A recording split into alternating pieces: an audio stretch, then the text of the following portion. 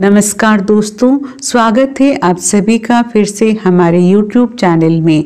आज एक नया वीडियो और नई जानकारी लेकर हम हाजिर हुए हैं। आज की जो कहानी है, आज का जो प्रसंग है, ये बड़ा ज्ञानवर्धक है और बड़ा प्रेरणादायक है। इस कहानी को पूरा सुने। कहानी आपको आपके जीवन में ढेर सारी प्रेरणा देगी। इस कहानी को सुनने के बाद यदि इस कहानी पर दी हुई बातों पर आप अमल करते हैं तो आप अपने जीवन में कभी भी धोखा नहीं खा सकते। कभी भी किसी व्यक्ति के जाल में आप नहीं फंस सकते। प्रिय दर्शकों, आज की कहानी बड़ी प्रेरणादायक है। ये कहानी एक गिलहरी और उनके मित्र चूहे की है। साथ में एक शिकारी की है। प्रिय दर्शकों, इस कहानी को पूरा सुने। कहानी के अंत में गिलहरी वो तीन बात बताती है, जो तीन बातें हर मनुष्य को अपने जीवन में हर कदम कदम पर काम आती है, हर वक्त काम आती है।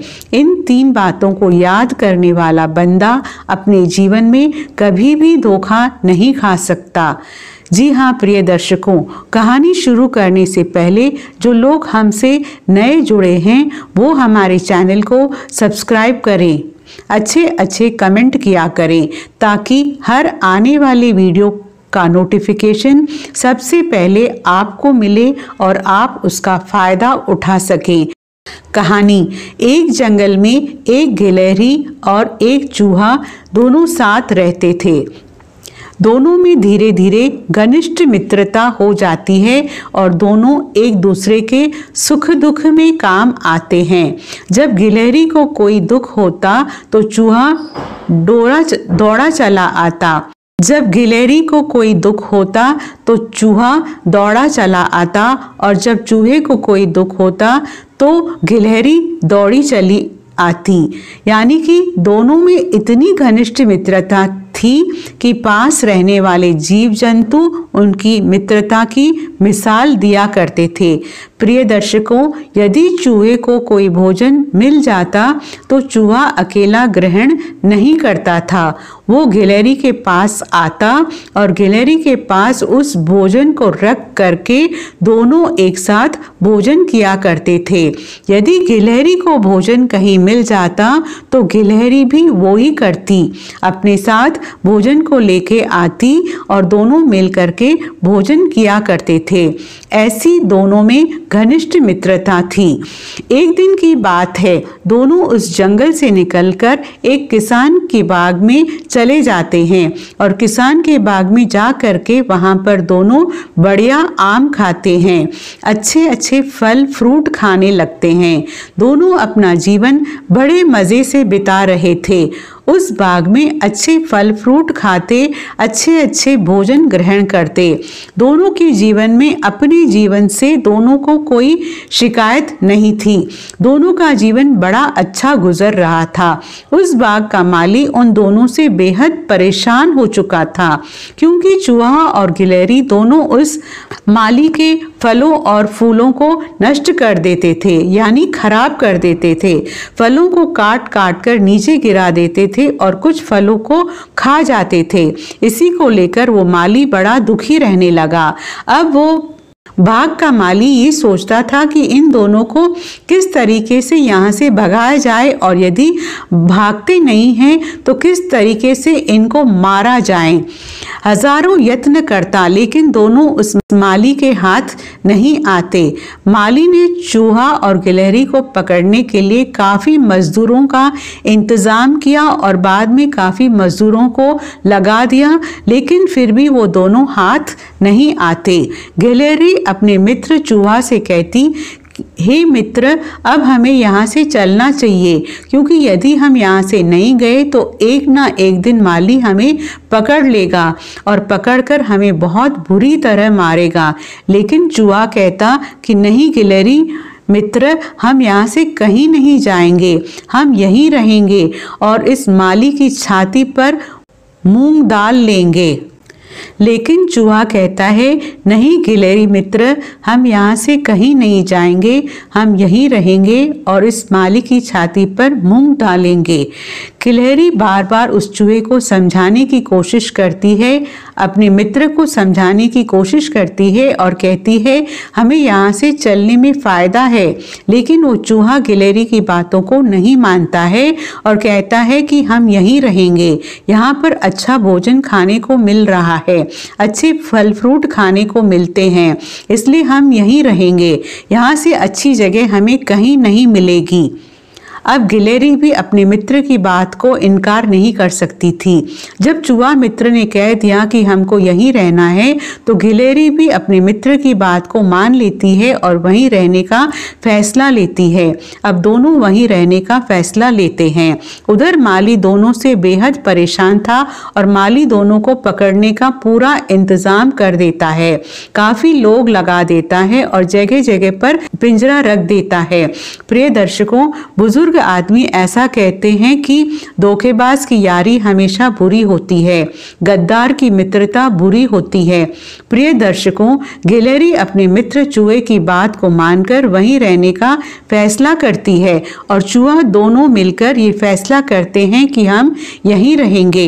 गिलेरी एक आम के पेड़ पेड़ पर चढ़कर बैठ जाती है और चूहा ज़मीन में बिल खोदना शुरू कर देता है। चूहा ज़मीन में एक बिल बनाता है और चूहा उस बिल के अंदर घुस जाता है। लेकिन गिलेरी आम के पेड़ पर बैठी रहती है। प्रिय दर्शकों, ऐसा कहा जाता है कि गिलेरी कभी बिल में नहीं रहती। गिलेरी हमेशा किसी वृक्ष में या किसी पेड़ के ऊपर बैठी रहती है। लेकिन चूहा ज़मीन के अंदर बिल खोदकर उसके अंदर घुस जाता है। जैसे माली की नज़र गिलहरी पे पड़ती है तो गिलहरी को पकड़ने के लिए पूरा इंतज़ाम कर रखा था। चारों तरफ़ ऐसे जाल बिछा रखे थे कि गिलहरी को बचने का कोई चांस ही नहीं था। प्रिय दर्शकों, अब आम की डाली पे एक इंसान को चढ़ा देता है, एक व्यक्ति को चढ़ा देता है। वो व्यक्ति आम के वृक्ष पर चढ़ जाता है और गिलहरी को आम के वृक्ष से गिरता हुआ नीचे की तरफ़ लेके आता है। गिलहरी आम के वृक्ष पर इधर उधर भाग जाती है। गिलहरी को बचने का कोई चांस नहीं था। गिलहरी इधर उधर भागती है और अपनी जान बचाने की कोशिश करती है, लेकिन उस माली के आदमी चारों तरफ़ बिखरे हुए थे। चारों तरफ़ उस माली ने जाल बिछा रखा था। गिलहरी को बचने का कोई चांस नहीं था। अंत तक गिलहरी परेशान होकर उस माली की जाल में फंस जाती है। जब गिलहरी उस माली की जाल में फंस जाती है, उधर वो चूहा बिल के अंदर से देखता है कि मेरे मित्र को माली ने पकड़ लिया है और जाल के अंदर बंद कर दिया है। वो माली गिलहरी को जाल के अंदर बंद करके और दूर चले जाते हैं। दूर इसलिए जाते हैं कि कुछ देर में चूहा भी निकलकर बाहर आएगा और हम चूहे को भी दबोच लेंगे, पकड़ लेंगे। सभी लोग वहाँ से दूर चले जाते हैं। चूहा अपने मित्र गिलहरी को छोड़कर वहाँ से भाग निकलता है। यदि चूहा चाहता तो अपने मित्र को जाल काटकर बाहर निकाल सकता था, लेकिन चूहे ने ऐसा नहीं किया। चूहा अपनी जान बचाकर वहाँ से भाग निकलता है। वो माली काफ़ी इंतज़ार करने के बाद वापस गिलहरी के पास आता है और देखता है कि चूहा वहाँ नहीं है। प्रिय दर्शकों, अब वो माली कहता है कि इस गिलहरी को मृत्युदंड दिया जाए। इसको कहीं दूर ले जाकर के मार दिया जाए, ताकि इसका रगड़ाई खत्म हो जाए, हमेशा के लिए खत्म हो जाए, को अपनी जान किसको प्यारी नहीं होती है? सबको अपनी जान प्यारी होती है। उस गिलेरी को भी अपनी जान बहुत प्यारी थी। वो गिलहरी अपनी शक्ति आवाज़ में उस माली से कहती है कि, माली, मेरी एक बात गौर से सुन लीजिए माली कहता है कि, क्या सुनना, सुनाना चाहती है? सुनाइए। क्या कहना चाहती है? तेरी मृत्यु निश्चित है, लेकिन फिर भी हम तुम्हें एक बोलने का मौका देते हैं। बोलिए, तुम क्या कहना चाहती हो?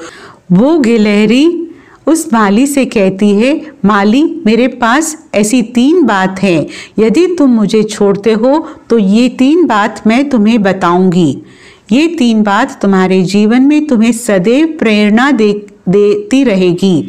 माली से कह, माली गिलहरी से कहता है, मैं तुम्हारी बात पर यकीन कैसे करूँ? लेकिन गिलहरी कहती है कि यकीन तो तुम्हें करना पड़ेगा।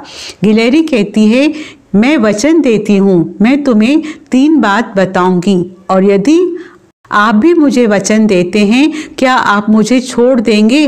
तो ही मैं आपको तीन बात बताऊँगी। और ये तीन बात बड़ी ज्ञानवर्धक है। आपके और आपके परिवार हमेशा आपको और आपके परिवार को हमेशा काम आने वाली ये तीन बातें हैं। गिलेरी के इतने कहने पर वो माली गिलेरी की बातों पर विश्वास करता है और गिलेरी से कहता है कि ठीक है, आप मुझे तीन बात बताइए, हम आपको छोड़ते हैं। प्रिय दर्शकों गिलेरी का थोड़ा जाल काटता है, थोड़ा थोड़ा जाल काटता है। थोड़ा जाल काटने के बाद गिलेरी से कहता है कि मैंने अब आपका थोड़ा जाल काट दिया है, आप मुझे एक बात बताइए। वो गिलेरी स्पष्ट बात बताती है और कहती है गिलेरी कहती है कि माली कभी भी हाथ आए शत्रु को नहीं छोड़ना चाहिए। गिलेरी कहती है कि हाथ आए शत्रु को कभी भी नहीं छोड़ना चाहिए। गिलेरी फिर माली से कहती है कि मैंने तुम्हें एक बात बता दी है। गिलेरी माली से कहती है कि पहली बात सुनिए। पहली बात यह है कि हाथ आए शत्रु को कभी भी नहीं छोड़ना चाहिए। गिलेरी कहती है कि मैंने आपको अब एक बात बता दी है। आप मुझे और खोलिए। मेरी जाल को और काट दीजिए, तभी मैं आपको दूसरी बात बताऊँगी।